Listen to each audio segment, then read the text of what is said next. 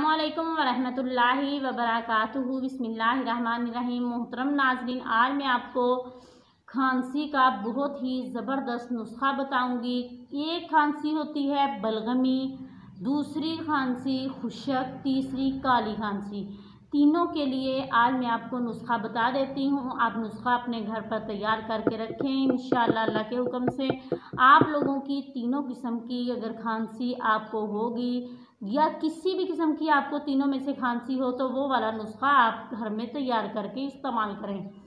जिन लोगों को बलगमी खांसी है, वो घियों, एक पाव मिट्टी के बर्तन में जला लें। इसी बर्तन में हल्दी भी ब्राउन कर लें।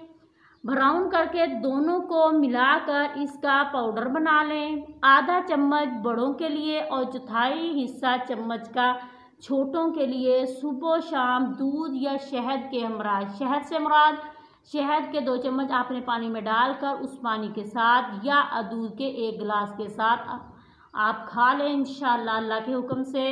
चंद दिन के इस्तेमाल से आपकी बलगमी खांसी दूर हो जाएगी। उसके अलावा अगर आपको खुशक खांसी है, खुशक खांसी के लिए आप रोज़ाना रात को 10 या 12 बादाम ले लें। लेकर उनको पोटली में बाँध कर गर्म पानी की भाप में एक मिनट आप रखें, यानी उसकी भाप दें आप। जब भाप देंगे तो ये अच्छे तरीके से इसको दम आ जाएगा और छिलका आसानी के साथ उतर जाएगा। ये जो 10 या 12 बारह बादाम हैं इनको आप किसी भी चीज़ में बाँध कर पानी में रख लें, वही गर्म पानी में डालकर इसे आप गर्म कर लें।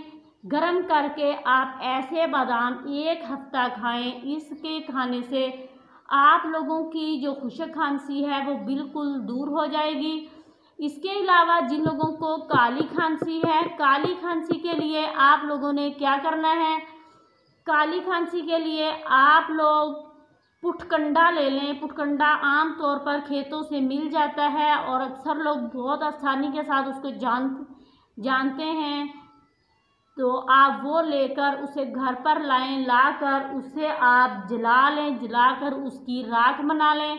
राख बनाकर उसको आप शहद में मिक्स करके रोज़ाना एक चम्मच शहद सुबह के वक्त निहार मुँह खाएँ। इन अल्लाह के हुक्म से आप लोगों काली खांसी से आपको निजात मिल जाएगी।